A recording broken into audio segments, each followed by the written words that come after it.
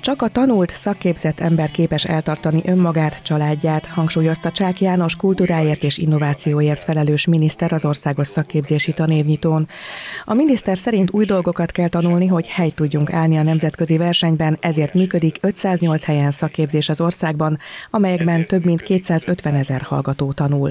Az a célunk, hogy olyan inspiráló, ihletet adó környezetet teremtsünk, amely elősegíti a minél hatékonyabb tanulást, és egyébként jó környezetet is adnak azoknak az oktatóknak, akik odaadóan, a szaktudásukat folyamatosan megújítva oktatják a jövő nemzedékeit. A miniszter hozzátette, a kis és közepes vállalkozások számára is fontos a szakképzés. Az állam két szakma és egy szakképesítés megszerzését támogatja. Nem csak a fiatalok kapnak lehetőséget a tanulásra, hanem az idősebbek is.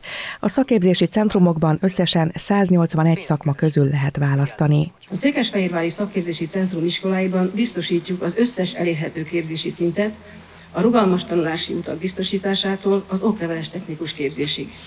Intézményeinkben országosan is kiemelkedően alacsony a lemorzsolódás. A szakképzéshez kapcsolódó biztonság kiterjed a képzés egészére. Ezt a biztonságot kívánjuk erősíteni a pályorientációra fordított munkával és folyamatos eszközfejlesztéssel.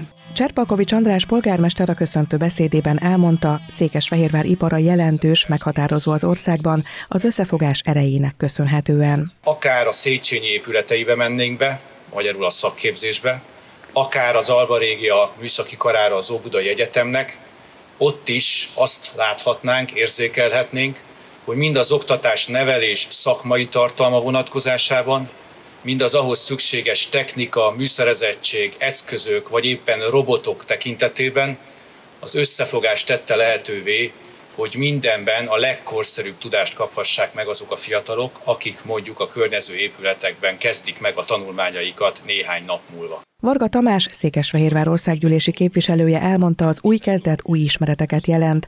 A város jelentős gazdasági központtá fejlődött csúcs technológiai központokkal, ahol a fiatalok tanulhatnak. Ahhoz azonban, hogy az új technológiák megjelenésével az önök munkája, az önök jövőbeni munkája ne értékelődjön le, olyan dolgokat kell önöknek tanulni, amiben a gépek nem versenyezhetnek velünk és mi Székesfehérvár közössége támogatjuk Önöket abban, hogy ezeket a készségeket és ezeket a képességeket megszerezzék, a legjobb körülmények között tanulhassanak, a szakképzettség fontosságát jelzi, hogy a KSH foglalkoztatási adatai alapján több mint 4,6 millió foglalkoztatottat tekintve csak 9% azon foglalkozások száma, amelyek ellátásához egyáltalán nem szükséges szakképzettség.